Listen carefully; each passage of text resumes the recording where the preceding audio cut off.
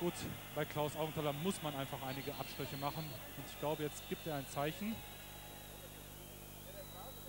Möglicherweise zur Auswechslung. Er gibt das Zeichen. Und ja, liebe Zuschauer, ein großer Augenblick jetzt. Und genießen wir diesen Augenblick einmalig.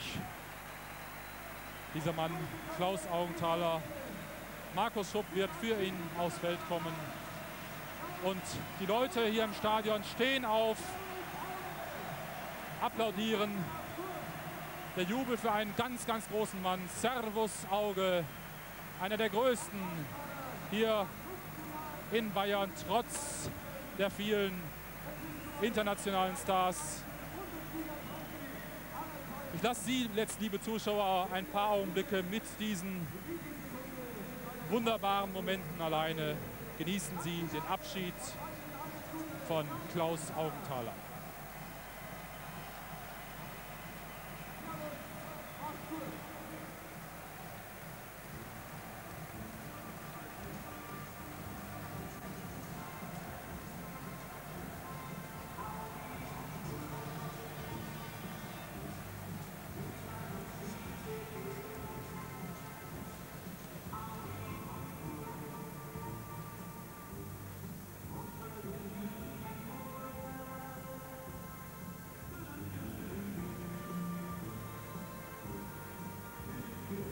Liebe Zuschauer, ich muss mich doch zwischendurch einschalten. Gerade eine wunderschöne Geste, Sie haben es gesehen.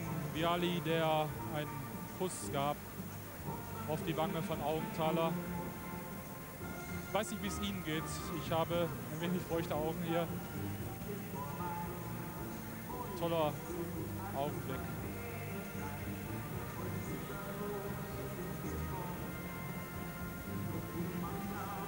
Und schade, dass Auge nicht mehr mit dabei ist auf dem Feld.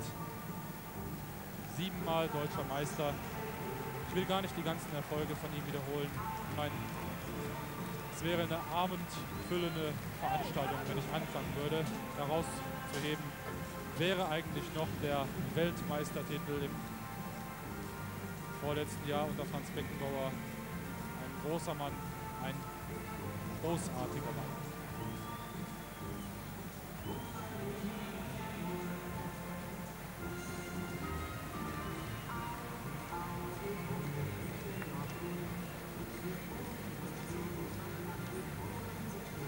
Weißbier hat er gerade gesagt. Haben Sie es den Lippen abgelesen? Weißbier wieder haben. Ach, herrlich, herrlich, herrlich. Das ist unser Auge. Typisch Klaus Augenthaler. Wunderbar.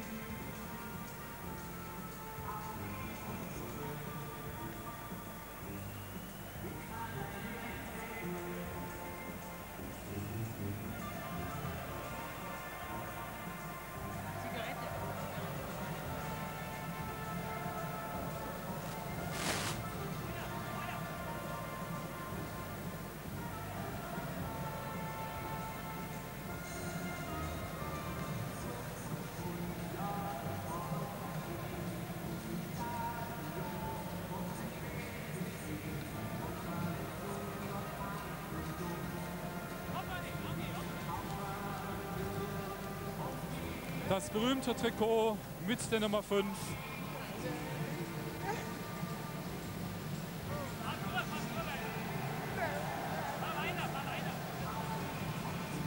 Das Weizenbierglas. Und rechts sehen Sie schon den glänzenden Kopf von Uli Köhler. Und hier die Frau, die Kinder. Lisa, die kleine Lisa. Schau mal, da ist der Papa. Und die große Tina. Und jetzt, lieber Kollege Uli, du bist dran. Ich weiß nicht, ob Sie mich jetzt alle verstehen können. Hier ist natürlich ein Höllenwärm. Auge hat als erstes gefragt, wo sind meine Zigaretten? Ich habe sie hier für dich da. Also ich muss sagen, ja, schauen wir, dass es auch geht. So, und nach dem Weißbier hat er auch gefragt. Nach dem Weißbier hast du auch gefragt. Wo ist es? Jetzt Leider leer. Auge, wenn du das jetzt so erlebst, was zieht alles an dir vorbei? Also ich muss sagen, ich muss mit dem Training kämpfen. Wenn du, Das ist wunderschön, mein. Das tut weh. ich merke es, ein bisschen traurig oder sehr traurig. Ich meine, ich bleibe beim Verein. Das ist das Schöne dran. Das andere tut natürlich weh, dass ich jetzt weg bin, der Mannschaft. Ich wäre gerne noch mal zehn Jahre jünger. Alles klar, aber als Trainer vielleicht wird es ja jetzt erfolgreicher. Du hast alle Voraussetzungen dazu. Vielleicht. Alles gute Auge, danke. Ach, herrlich, herrlich, herrlich, herrlich. Und auch für diese drei, die so wichtig waren in seinem Leben, ein toller Augenblick.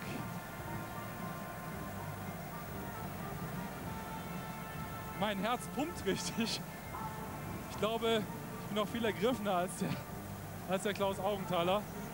Ich weiß nicht, wie es Ihnen zu Hause geht, liebe Zuschauer. Ich glaube, Sie werden mir recht geben von Flensburg bis nach Garmisch-Partenkirchen. Dieser Mann ist überall beliebt. Und das Schmunzeln.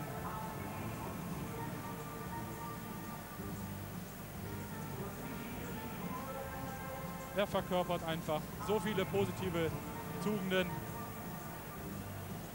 dass es richtig schmerzt, dass er als Aktiver aufhört oder aufgehört hat, muss man ja korrekt sagen.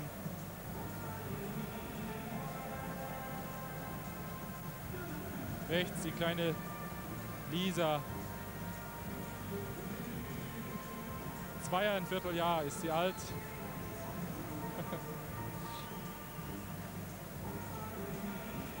Ehefrau Monika, die quasi der Manager ist von Klaus Augenthaler, die nur ein einziges Mal eingegriffen hat in der Karriere, damals als äh, Paul Czernay ihren Mann mal beleidigt hatte. Da ist sie zu ihm hingegangen und hat ihm deutlich die Leviten gelesen. gelesen.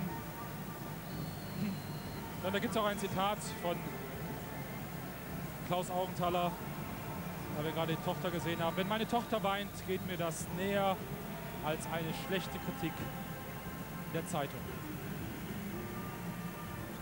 Ja, der Kameramann, ganz ergriffen ebenfalls. Es geht weiter im Spiel, liebe Zuschauer, und Sie sehen noch einmal diese wunderschönen Bilder hier. Klaus Augenthaler in der Nacht von München. Auge, mach's gut. Leute stehen immer noch, Standing Ovations. Auge, mach's gut, singen sie.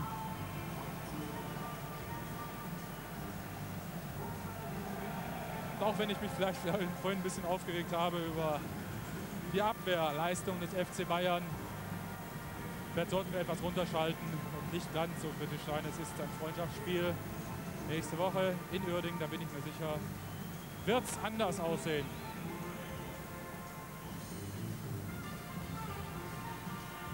Wir werden gleich sicherlich noch einmal ein Interview führen mit Klaus Augenthaler. Es gibt so viele nette Geschichten, Historien über diesen Mann,